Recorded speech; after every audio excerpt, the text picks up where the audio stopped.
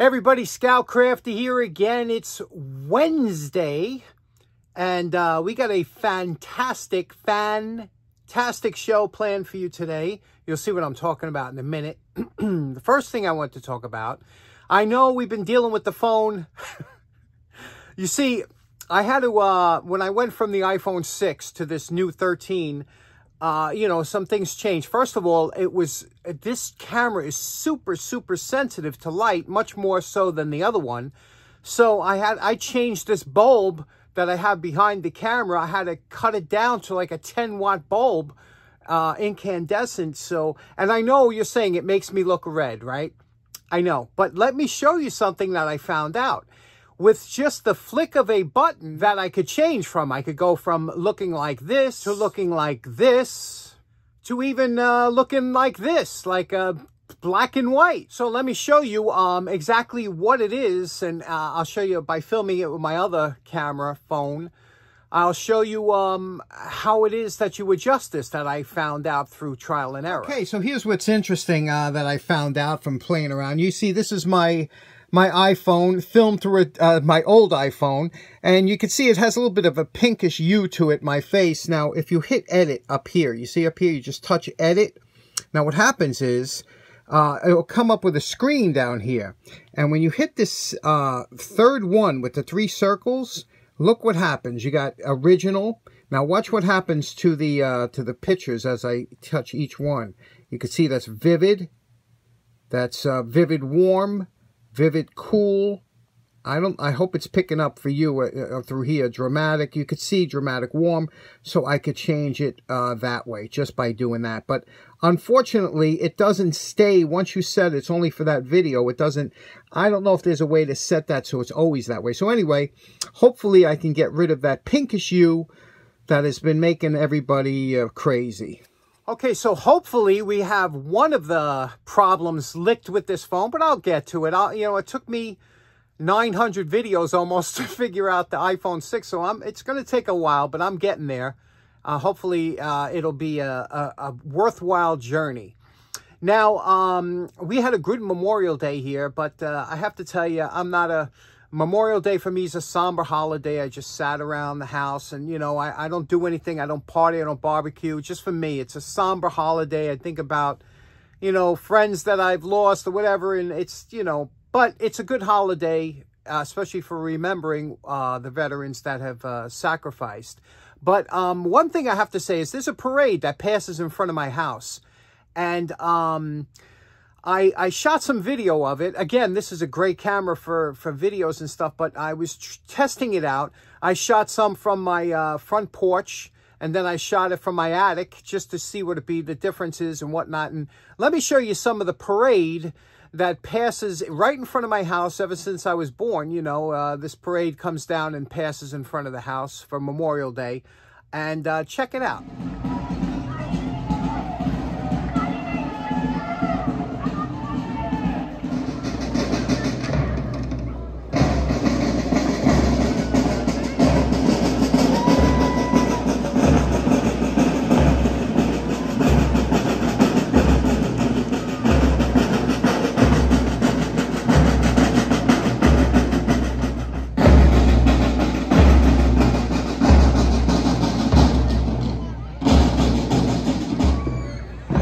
That was nice. And uh, it seems like patriotism can be contagious because, you know, I remember last year uh, I was like the only one putting the flag out, but uh, you could see now I got all my neighbor. I even put one up on my neighbor's flagpole because she's 95 years old and uh, so I put it up and, you know, I maintain it. And so I got the, and then they put it up on the pole. So it's nice. It's nice to see the flags flying out there. And, uh, okay, so with that, we have an interesting uh, uh, show for you today. Like I said, it was fantastic. Let me show you what I meant by that. Okay, now, uh, what we're going to start off when I said this was going to be a fantastic episode, uh, I was actually talking about the fan part of it because today we're going to talk about making a poor man's air filtration system. A lot of you guys are in the shop. You're doing some grinding. You're doing some sanding. Uh, it's summertime for a lot of us here in the States. And you know what? it's a good idea to have an, an additional fan and especially one that can filter the air a little bit, take out some of the particulates of the things that we're sanding and kicking around. Uh, I have a really good one over there, but, uh, you know, it's it's expensive, and a lot of you can't do this. This one here is uh, is affordable for everybody, and basically what it is, it's a box fan. I picked this up at Walmart, and it's uh, made by Lasko. And what's interesting is this is uh, made in the United States of America. And it was uh, like 23 or 24 dollars but the reason they did have them as low as 19 but this one has a steel body and it's uh, it's guaranteed for two years or something. So uh, here you go two year limited warranty. And uh, we'll unbox this and then I bought a couple filters.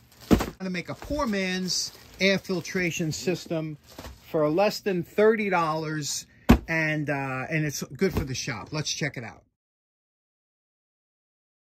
Okay, so now that it's unboxed, you can see basically what it is. It's a standard. It's got plastic shroud, plastic blades. Again, that's what you're going to get. But it's a metal case around here. Lightweight.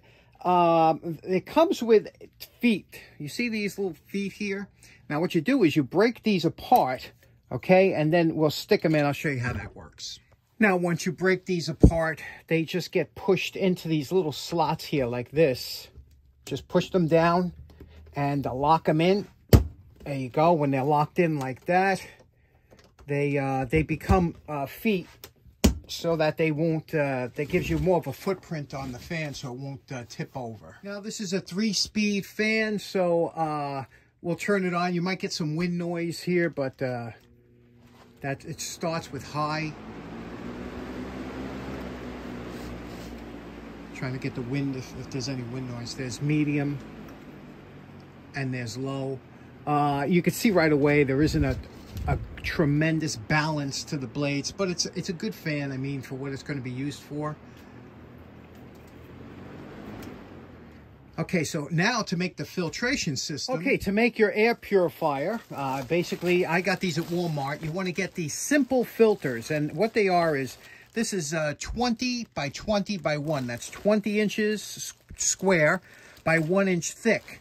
Now, there's a marking on all these filters, okay? And there's, you can't see because these are light gray, but this here, this is the lowest basic, what they call basic uh, here, um, form of filter. And that is because uh, the thicker the filter or the more protection it gives you, the more things it'll it'll cut out. For example, this is good for lint and household dust. You see what it says here? But if you went to the next one, it says mites and mold spores and pollen. So the better filter you get, the more of these black, uh, these things will be darkened in. But you do not want the heavy duty filters because you're going to wind up, you won't have the air uh, filtering through the fan and you could actually do damage to the fan. So you want the basic ones. And these are three for uh, $10, uh, I believe. So they, they run about, uh, you know, they're less than $4 a filter, whatever, when you buy them in a three-pack. And the more you buy, the more you save, obviously. This is what the filter looks like. It has two sides. It has the inside here. It has the outside with some grating on it. All you have to do here is take this on your fan and put it like this. Now, to secure it, I've seen some guys get crazy with bungee cords. You got to remember something, that the suction of the fan is going to hold this on by itself. So all you need is two, uh, I'm going to use uh, a couple pieces of painter's tape just to hold it on there. You don't want to make a, you know, some guys go nuts with trying to seal it. You don't want to do that because if there is any flow problems, you want the air to get in there so your fan doesn't overheat.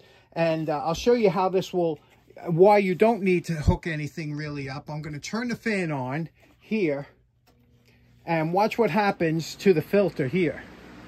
That's all, that, that'll hold it by itself.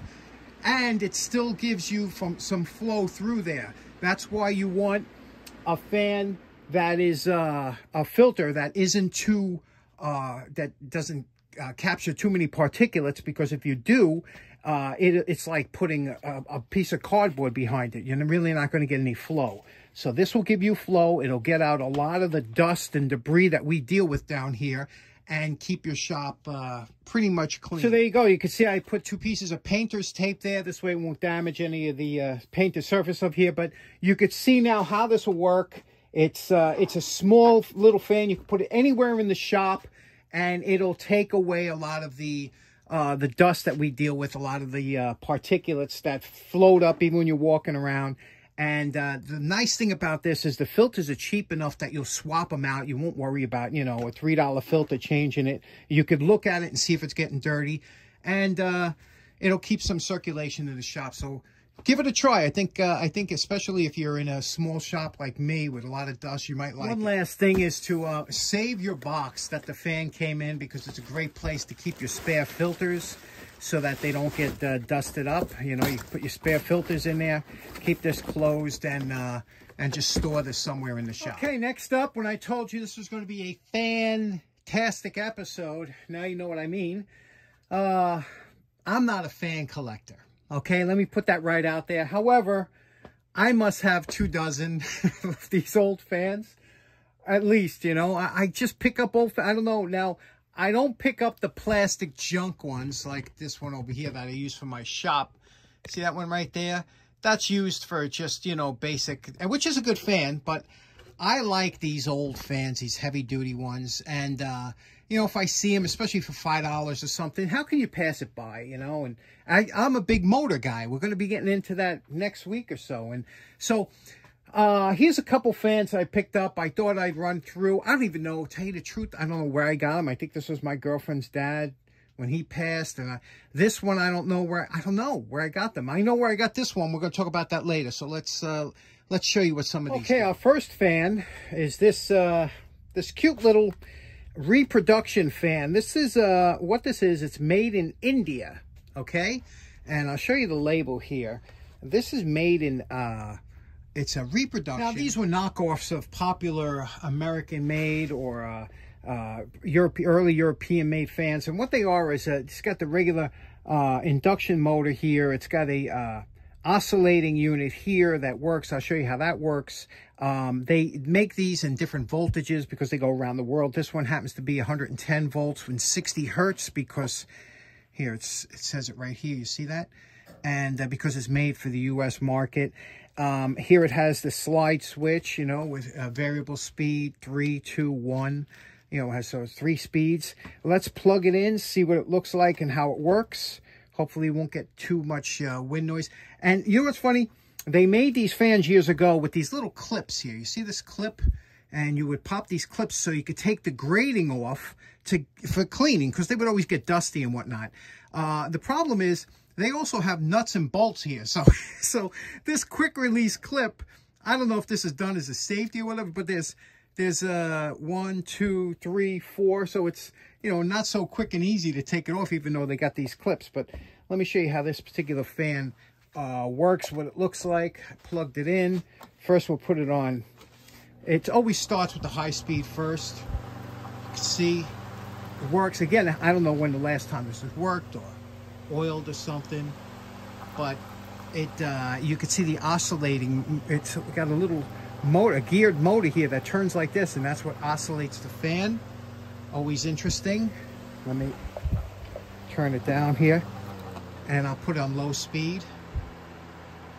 You can see low speed, so I, I, always found these interesting, especially the old ones. And again, it's a knockoff, but it looks very close to the original. If you clean it up and this is like chrome. If you if you do it up nice, it's a nice addition to your uh, to your den or Next whatever. up, we have this beautiful little Westinghouse fan, and uh, this one's really uh, uh, just made so beautifully, super strong. Probably, I would estimate in the 50s, mid 50s, maybe. Some of you fan guys out there. You know, let me tell you, fan collectors are cool people, and there are a ton of different types of fans that, uh, you know, you can collect.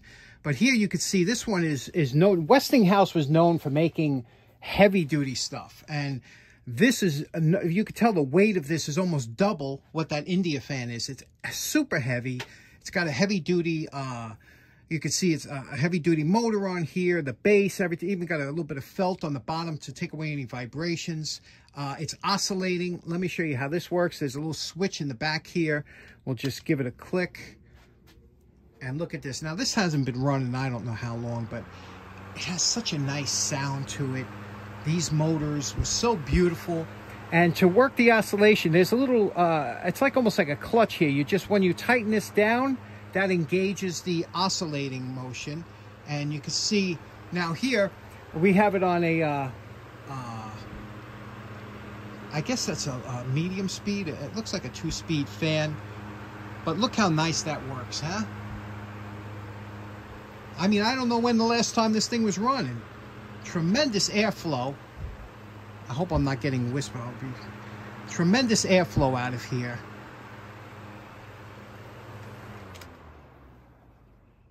And uh, now you can see this is a, uh, a four-bladed fan, but look at that, that curve. You know, it's a very aggressive fan blades. Very nice fan. Now, last up, I have this beautiful little Emerson fan. Now, I picked this up at the Long Island Tool Meet uh, a couple weeks ago, and uh, I paid $5 for this fan. What a beautiful little fan this is, huh? But it needs work. It's got a little beat on. But I just wanted to have a little fun with this fan, and uh, so I'm going to do this for Friday's restoration. We're going to do this on Friday. Uh, I'm just going to do a cleanup. I wanted to uh, to see if I can get it, you know, oiled up and clean and in good running shape. And but the blades, you see, the blades are all kind of, you know, oxidized and stuff. I want to uh, spray the blades with maybe that uh, uh, that copper colored paint that I like so much. So we'll do this on Friday. It's a, it's a nice fan. The thing weighs a ton. It works well, so let's see what we can do with it for Friday. I think that'll be a, a nice little project. Okay, so in closing, uh, oops, there you go. Is that better? Is this color better for you? Uh, hope we've straightened that part out. And uh, anyway, that's uh, you've spent 17 minutes. That went fast, didn't it? Good episode. I enjoyed. Fantastic. we'll finish that on Friday. Hope you have a great week. Take care now. Bye-bye.